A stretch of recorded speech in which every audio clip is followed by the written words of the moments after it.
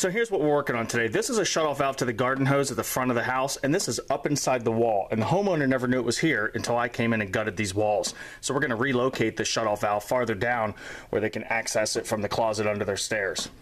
Now to splice into this copper without actually soldering, we're gonna use a tool called ProPress, and it's absolutely awesome. So let's go ahead and cover that. So here we have a ProPress tool from iCrimp.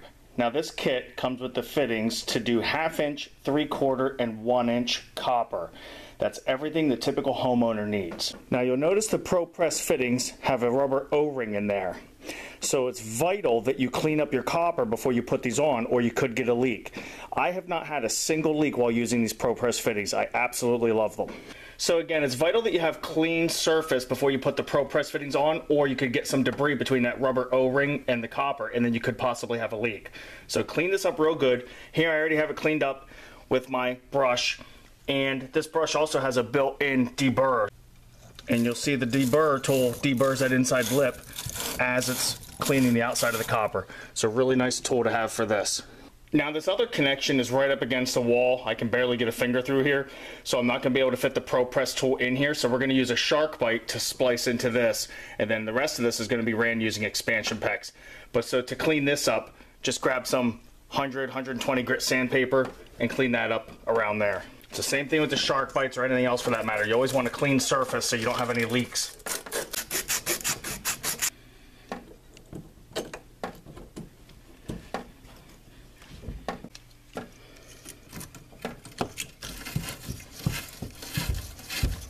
So we've cleaned up the inside and the outside of our copper. So I'm going to slip the Pro Press fitting on there. And you'll feel it bottom out so you'll know it's on all the way. Okay, now I already have my half inch pieces in here, but if I needed to change them out, all you do is open up the arms, press this button, that opens up the head, and then there's two screws that hold the pieces in there. I would just switch them out with the other sizes and then close that back up.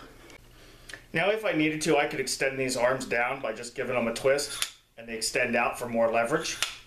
But in the tight area we're working and only being half inch, I'm not gonna need to do that. So I'm gonna keep them fully in. Okay, so you're gonna fully open the tool and you'll see the head expands so we can fit it over the fitting.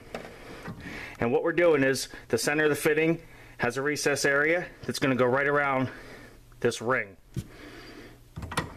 So once we have it right on there, we're just gonna clamp right down around it and just simply compress the handles all the way together and it'll lock as it finishes the crimp.